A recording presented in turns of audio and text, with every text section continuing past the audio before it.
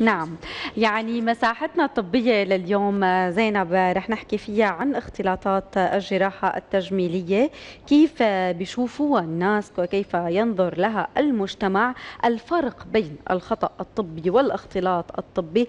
كل هالأسئلة وهالتفاصيل أكيد رح يجاوبنا عنها الدكتور إياد كيال أخصائي في الجراحة العامة والتجميلية. يسعد صباحك دكتور وأهلا وسهلا صباح النور يسعد صباحكم. أهلا وسهلا فيك. يسعد صباحك دكتور. يعني كنا عم نحكي تحت الهواء عم نعم. نسأله أسئلتنا المعتادة نحن. كصبايا. لدكتور خلينا نحكي بداية دكتور عن ندبات العمل الجراحي. أي عمل جراحي ممكن يخلف ندبات معينة لفترة بسيطة اليوم. فخبرنا عن هي الندبات قد إيه بدها وقت لت- لتروح أو هي وفقا للعملية اللي بتكون موجودة. هلأ بشكل عام هذا الموضوع هو الشغل الشاغل عم بيكون لأغلب السيدات اللي عم يخضعوا لعمليات التجميل. طبعا إحنا القاعدة المطلقة ما في أي عمل جراحي بدون ندبة. تمام. ولكن بالنسبة للندبات في مجموعة عوامل بتتحكم فيها. طبيعة الجسم بالدرجة الأولى هي العامل الأساسي. طريقة الخياطة اللي بتبع الجراح نوع الخيوط المستعملة عادة درجة الشد اللي بيطبقها الجراح طبعا خلال العمل الجراحي. كلها مواضيع بتلعب دور. نحن طبعا دائما كل ما كان الشد أكثر كل ما نعم. كانت ندبة العمل الجراحي مع الأيام أكبر. أعرض خلينا أعرض. نقول أعرض. وبتعاني طبعا من تغير لوني بالنسبة للون الجلد القريب منه. فهذا الشيء مثل ما قلت لك بضل هو شغل شاغل للسيدات. المفروض برأيي الشخصي أنا إنه الست يعني تخضع لثقافة من قبل الطبيب طبعا قبل إجراء أي عمل تسأل جراحي. كل الأسئلة. بأنه طبعا ما في عمل جراحي بدون ما يكون في له ندبة. صحيح. يعني في بعض المراجعات عند أغلب الأطباء يعني إذا ما كان صحيح. الكل بتقول لك أنا مثلا بدي أعمل عملية الشد الفلانية أوكي أنا ما بدي جرح يبين ما في جرح إلا بيترك أثر. نعم. لكن طبعا بالتقادم الندبة كل ما لا بتخف بتخف, بتخف. إذا كان طبعا نحن كأطباء آه، شاغلين بالطريقة السليمة خلينا نسميها بعيدا عن ما يعني خلينا نقول طبيعة جسمها هي. المفروض أنت كطبيب تعمل الشيء المطلوب منك والست أو الصبي يكون عندها دراية بأنه هذا الجرح كل ما مع الأيام راح يتحسن أكثر وأكثر. أما لما بتشكل عندنا شيء اسمه الندبه المعيبه أكيد في له وسائل كثير للإصلاح سواء كان على مستوى مثلا الليزر fractional أو حقن التريامسينولون مثلا أو حتى إصلاح جراحي للندبه نفسها نعم. حلو كثير دكتور يمكن هذا الحديث يمكن الندب أهم شيء دائما بتسال عنه الصبية هو الشغل الشاغل دائما للسيدات. يعني. ما بتفكر بجماليه النتيجة أما تفكر بموضوع الندبه تمام. يعني المثالية. بيراجعون إحنا كثير مثلا عندها ترهل شديد بالبطن. صحيح. أوكي إنه هي موضوع بالنسبة لحد ما يعني خلينا نقول متصالحة معه. نعم. أوكي بدك تخلصي أنت من هذا الترهل كلياته. إيه نعم. دكتور أنا ما بدي جرح كبير. ما في شيء اسمه جرح كبير وجرح بيقولوا صغير شيء أحسن من شيء آه ظروف العمل الجراحي هي اللي. بتفرض تمام. مدى الجرح طبيعة صحيح. الجرح هي كلياتها طبعا 100% دكتور في نقطة كثير مهمة لازم نسلط الضوء عليها وهي الاختلاطات اختلاطات العمليات التجميلية والفرق بينها وبين الخطأ الطبي هلأ إذا بدنا نحكي على الاختلاطات كاختلاطات فهو بحر كثير كبير أكيد. يعني تماماً. نحن نحكي على يعني قضية علمية مهمة كثير تماما. خلينا نقول نحن على تعاطي الناس مع هالموضوع هذا. ما عم يكون في تمييز حقيقي لحد الآن للأسف عنا خلينا نقول بشكل مبسط بلغة الشارع. صحيح. ما بين الاختلاط الطبي اللي هو شيء مؤقت وما بين الخطأ الطبي اللي بيؤدي خلينا نقول لكارثة. لتشوه دائم مثلا على سبيل المثال. نروح ناخذ كمثال مثلا عمليات شد الأشفان. الشتر اللي بيصير بعد العمل الجراحي هو اختلاط غالبا قابل للإصلاح. الشتر طبعا اللي بيكون لفترة مؤقتة. أما الشتر الدائم فهو خطأ طبي. طبعا في وسائل إصلاح ولكن هي ضمن حدود معينة بالأخير. وبتتبع مثل ما قلنا بنفس الوقت لمدى قناعة الست أو الصبي بالنسبة للنتيجة اللي آه، بدها إياها هي أو الشيء اللي راسمته بخيالها مثلا. تمام؟ بالنسبة لعمليات مثلا شد الوجه الرضع على أحد فروع العصب الوجهي هذا اختلاط. شائع مع أي طبيب ممكن إنه يصير. وفترته مؤقتة مثلا شهرين ب- باسوء الحالات ست شهور مثلا. أما اذيه العصب الوجهي فهي خطأ طبي لأنه نعم. الاذيه عادة بتكون اذيه دائمة. صحيح. إذا كان على مستوى الفروع الرئيسية للعصب الوجهي نرجع نقول لحد الآن ما عم يكون في عندنا نحن. آه، خلينا نقول بين الناس أو ب- بلغة الشارع عفوا. ثقافة حقيقية بالنسبة لهذا الموضوع. الست اللي عم تتعرض لأي اختلاط نفترض مثلا بعد عمليات شفط العنق ممكن يصير رض أحيانا على احد فروع الرقبيه للعصب الوجهي. الرض هذا ممكن يعطي وضعية ميله للتم مثلا. تمام؟ تطلع الست متفاجئة بهالمنظر رغم إنه الطبيب بيكون شرح ووضح بشكل واضح إنه هذا شيء مؤقت مثلا فترته بالكثير شهرين بده يروح. تمام؟ يمكن خلال هالفترة هي كلها ما بتترك طبيب إلا بتراجعه لأجل هالموضوع هذا. طبعا مع احترامي لكل زملائي الأطباء البعض يعني ما إنه بيبسط الموضوع مثلا بالنسبة للست ضارب لك العصب. كلمة ضارب لك العصب هي مصطلح كتير كبير بالنسبة لها هي يعني بقرر هو؟ كست عاملة تجميل. أما وقت بتقلها مثلا بسبب الشفط في عندنا ردع العصب هذا الرد قابل للإصلاح لوحده. تمام؟ تختلف كتير بالنسبة لل... صحيح. للصبية أو للمراجعة. يعني رؤيتها للنتيجة كيف بدها تكون حتى لقدام. وتعطينا هذا. الاختلاط طبعا. نعم. طيب آه، دكتور يعني مثل ما حكيت دائما السيدة بشكل خاص تبحث عن النتيجة المثالية خلينا نقول وخاصة بما يتعلق بعمليات التجميل. بالرغم من إنه كل شيء له إيجابيات له سلبيات أكيد. يعني وخاصة عم نشوف هلا في أوفر بعمليات التجميل. آه، حتى رأي الطبيب يعني أحيانا ما بيرضى يعمل العملية لا بدها تعمل السيدة. خلينا نحكي اليوم في تحاليل دائما مطلوبة قبل أي عمل جراحي. كمان ثقافة التحاليل عم يستهان فيها عن بعض السيدات. خبرنا عن هي النقطة. هلا بالنسبة برجع بقول أنا لاي مريضة بدها تخضع لأي عمل جراحي. من ناحية تجميلية مو مشكلة. طبعا التحاليل الاستشارات سواء كانت القلبية إذا عندها مشكلة قلبية الاستشارات الصدرية الدوائية شو الأدوية لازم تتوقف مثلا نعم. الاستشارات الغديه إذا عندها أي مرض غدي هي واجب تعملها اي مريضة قبل العمل الجراحي.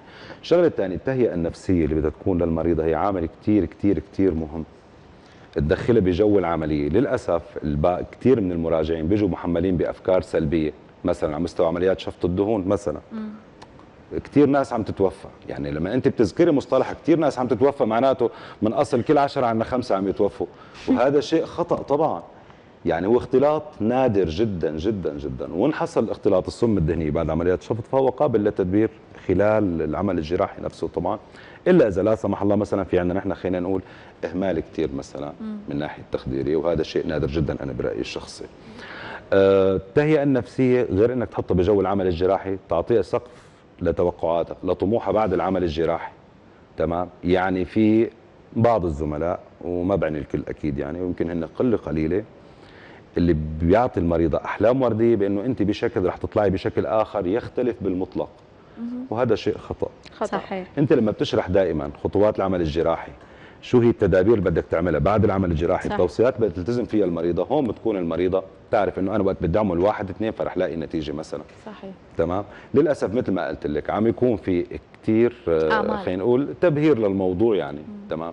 لدرجة انه الست يعني بعد العمل الجراحي بتجي بتطلع لا هو ما وعدني هيك الدكتور مثلا. أنا قلت له بدي كذا وقال لي بيعمل لك كذا مثلا. انتبهت شو الفكرة. آه، فهذا الموضوع أنا بحب كثير ركز عليه. حط المريض دائما بسقف التوقعات. شغلة ثالثة يعني نحن كثير بنعاني منها طبعا برجع بقول بواقعنا الاجتماعي هي تدخل المحيط بالعمل الجراحي التجميلي بالدرجة الأولى. بيحبطوا يعني عم يخضع التجميل بشكل عام. عمل أي طبيب كان لتقييم ال- الناس المقربين أو البعيدين من المريضه وهذا خطأ كثير كبير. صحيح. أنت مرجعيتك الطبيب بالدرجة الأولى ثم نظرتك لنفسك أنت على المرآة بالدرجة الثانية. مو بالضروري أنت تعجب الجميع لحتى تأخذ الثناء مثلا عن العمل الجراحي اللي أنت عملتيه.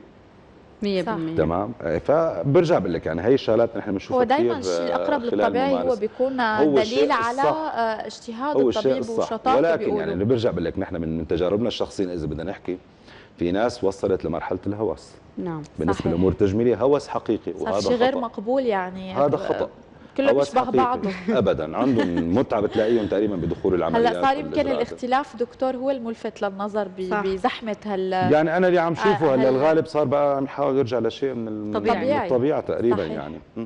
نعم هون خلينا نحكي دكتور عن المقاربة النفسية للمريض آه، التحاليل ال- الواجب اتباعها قبل العمل الجراحي طبعا تحاليل معروفة هي تعداد الدم والصيغة وظائف الكلية الشوارد سكر الدم زمن النزف والتخثر وزمن البروترومبين. هدول هن شيء. وإذا في أي إشكال غدي بنطلب تحاليل الغده تمام. الدرقية TSH وال T4 هي بالنسبة للتحاليل وإن الاستشارات. برجع بقول لك بالنسبة للمقاربة النفسية يعني هي بحد ذاتها أنا بعتبرها أهم من العمل الجراحي. صح. يعني كل مريضة بتراجعك ضمن ال clinic أو ضمن ال center مثلا هي بحد ذاتها قضية نفسية مستقلة عن كل مراجعة أخرى. الغالبيه بيراجعونا مثلا يعني إنه والله جايبة مع الصورة الفلانية، أنا بدي مثل هي. يعني هي جاي بانية كل طموحها اللي بدها تعمله على القاعدة المبنية على هي الصورة، هذا خطأ بحد ذاته.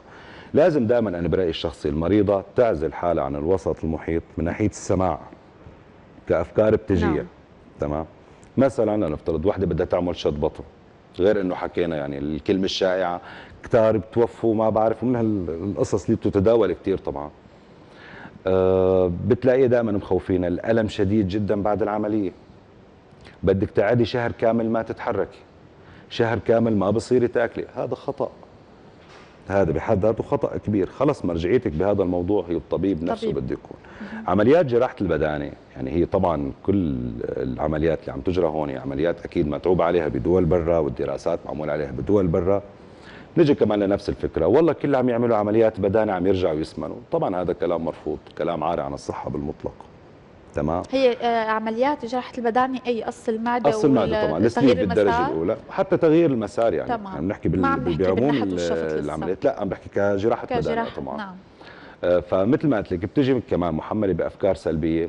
فلانة عملتها مثلا لنفترض ما عادت تقدر تاكل. فلانة كذا. فللأسف يعني عم ياخذوا حالة وحدة صح. وعم يعمموها على الكل. أنت طبعا كطبيب برجع بقول المفروض تعطي للمريضة الجانب المشرق الحقيقي من أي عمل جراحي. تمام؟ كثير نحن بنعاني حتى بالسيدات بموضوع مثلا الالتزام بعد العمل الجراحي. بالنسبة لعمليات شد البطن مثلا الانحناء لمدة 15 يوم بده يكون. نعم. تمام؟ هذا ضروري. الالتزام بالمشد.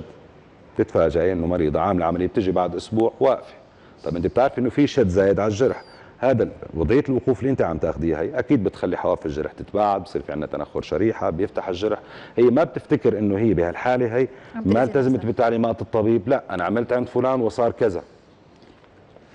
تمام؟ يعني مثل ما قلت لك حتى تقيد حقيقي من السيدات بالمتابعات بعد العمل الجراحي ما بتشوف نعم. أنت كطبيب مثلا أوكي أجريت الجراحة الفلانية واجبك كطبيب المهني والأخلاقي إنك أنت تتابع المريضة. بس نشوف نحن بنتفاجئ إنه في نسبة إهمال كبيرة عند المراجعين. صحيح. مثلا عفوا لو أطلت لا لا. تفضل. أوكي المرمم الفلاني مثلا بتستعمليه للجرح مثلا. مرة واحدة باليوم. تمام؟ هذا الجرح بده شهر لحتى يبلش يتحسن مثلا. ثلاث شهور بكون وضعه أفضل من هلأ. تراجعك المريضة بعد أسبوع عم تحط المرمم كل يوم أربع مرات. طب ليه؟ يعني في عندنا نحن درجات معينة بدنا نمشي فيها بال- بالواقع صح. المنطقي طبعا هي كلها بتكون تصرفاتها هي من إيحاءات المحيط اللي حواليها. كثر. من المرمم بطيب الجرح ما بسرعة وهذا خطأ صحيح طيب دكتور بما أنه عم نحكي عن الجراحات التجميلية نوعا ما اللي بتخص السيدات عم نشوف كثير أعمار صغيرة للأسف بتكون بشرتها لسه الخلايا والهرمونات عم تنتج يمكن الإشراق وكل شيء بتلاقيهم عم يتجهوا للتجميل بعمليات يمكن مثل مثل ما قلت شد قص الأشفان بعمر صغير مثلا شد الوش دقن هي الأعمار مو ما لها يعني محاذير معينة يعني العمليات التجميلية ما بتنعكس سلبا على الكبر إذا عم انعملت بالصغر؟ هلأ أنا راح أوضح لك الصورة بشكل آخر. هلأ نحن دائما عندنا القاعدة نحن نجمل ما هو جميل بالأساس. والجميل فعلا لازم يكون جميل الروح قبل ما يكون جميل الشكل صحيح. بالدرجة الأولى. للأسف كثير من عمليات التجميل انتقلت من مرحلة التجميل لمرحله الهوس مرحلة التقليد. أنا بدي أنفي مثل أنف فلاني مثلا. تمام؟ آه لأ أنا بدي شد أشفاني مشان أسحب عيني على طرف مثلا. طبعا هو كله منبعه الشيء هذا الصور اللي عم نشوفها على مواقع ال social. media. وهي خلينا نقول إنه صور آه مو صحيحة بالمطلق لا، يعني. ما فيها. كثير آه نسبة تغيير يعني. وإضاءة. بهالموضوع هذا. أه برجع بقول موضوع الصور بتشوف إنه مثلا ليش أنا عندي double chin مثلا؟ Okay فلانة ما عندها لا أنا بدي شيلها مثلا. انتبهت علي شو الفكرة؟ بتفتكر هي إنه إذا عملت هذا الإجراء فخلص بدها تصير هي يعني فوتوكوبي عن الصورة اللي شافتها. أو حتى في شغلة كتير دارجة. دكتور أنا شكلي بالصور ما عم حبه. يعني اي شكلي بالصور ما عم حبه. بدي أعمل كذا لحتى أطلع بالصورة حلوة. طيب معلش هلا هذا برأيي أنا الموضوع لا مثل التجميل كتير يعني. صحيح. يعني المهم أنت صورتك بالواقع تمام؟ مظبوط. وبتخيل أنا كمان بتقييم الشخصي انه غالبيه الأطباء الغالبية طبعا بيرفض إجراء هيك عمليات بأعمال مبكرة إلا أحيانا تحت إصرار الصبية. تحت اصرار الصبيه انه خلص هي بقناعتها انه لازم بتتحمل آه، المسؤوليه تعمل انفها لتصير بتشبه كذا مثلا. إذا عملت انفها بتطلع أجمل إذا عملت اشفانها بتطلع أجمل طبعا. وبنرجع بنقول كله بالأخير عبارة عن تقليد عم نحكي نعم. بالنسبة للأعمار الباكرة. نعم. أما بالنسبة لتأثير هيك عمليات مثلا على المدى البعيد معروف طبعا هلأ الجسم البشري بشكل عام كل سنة عن سنة بيتغير. صحيح. تمام. بالذات شد الأشفان هي عملية تتبع الداعي الطبي أكثر ما تتبع الداعي التجميلي. صح. يعني الغالبيه اللي بيراجعوا مثلا باعمار أي عمر المفروض البنت تعمل قص اشفان لأنه دائما بنسأل هذا آه، برجع السؤال. بقول لك هي درجة الترهل اللي حسب بتتحكم بها الموضوع هذا. أو إذا في شيء اسمه الانتفاخ الشحمي الأكياس الشحمية بتكون موجود خاصة تحت الأشفان السفلية. كثير نحن بنشوف إنه بأعمار مبكرة بتكون بارزة بشكل ظاهر. ممكن أها. هذا يسبب إحراج مثلا للصبية بالمجتمع تبعها. فهون بكون خضوع العمل الجراحي لإزالة الأكياس الدهنية بالدرجة الأولى بدون ما نعم. تخضع لشد بالمعنى الحقيقي. يعني. تمام. يعني بحسب الاحتياج وبحسب حالة خلينا نقول المريض. خلينا نحكي أيضا آه، عن المدة الزمنية اللي بتحتاجها السيدة أو مثلا أحيانا الرجل لأنه عم نشوف هلا كثير رجال عم يخضعوا لعمليات تجميل يمكن أكثر من السيدات. نحن ما في غير عم نحكي على السيدات. في رجال لسه أكثر رجال هلأ مقبلين أكثر. وبتعمل بوتوكس و fillers حتى يعني عم نشوف كثير دارج هذا الموضوع. فقد إيه المدة الزمنية بين العملية والثانية هلأ شوفي بالنسبة للتجميل عند الرجال ومقارنته بالتجميل عند النساء هلأ قصص الحقن بشكل عام كالبوتوكس أو ال fillers. مثلا هلا هي شيء حضاري أكيد أكيد بالأخير ما هي شيء حضاري يعني. يعني مشان ما يقولوا تاخر ظهور تاخر ظهور علامات العمر طبعا نعم. في نسبة جيدة هلا من الرجال بشكل عام تخضع لعمليات الشد خاصة بالنسبة للوش منطقه العنق طبعا يعني بالأخير ما حدا بحب إنه هو حلو يكبر أكيد لا تمام. صح. نحن ولكن الفرق الزمني أنت سؤالك إنه بين كل عملية والثانيه. نرجع بنقول يعني هي مجموعة العوامل بتتحكم فيها درجة الترهل اللي بتصير. إذا بدنا نحكي مثلا على مستوى ال- الوجه والعنق أكثر شيء. نسبة الترهل اللي بتصير هي هي بالدرجة الأولى بتتحكم بها الموضوع هذا. ما في عندك أي عامل ثاني ممكن يأثر. ونرجع بنقول كمان مدى قناعة الشخص بشكله هو. مدى قناعته بشكله هو. يعني هلا في كثير ناس مثلا بتراجعك بتقول لك أنا آه بدي شد وشي ورقبتي مثلا ما بدي شد الأشفان رغم ما بتطلع إنه ترهل الأشفان عنده واضح جدا. واضح. تمام. تمام.